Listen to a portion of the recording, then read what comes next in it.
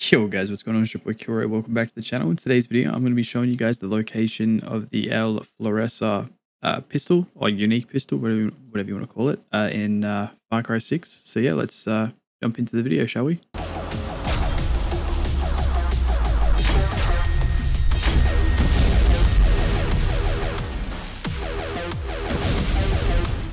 Alrighty guys, so basically you just want to come to this location on the map. It is this, well, sorry, I'll zoom out for you guys.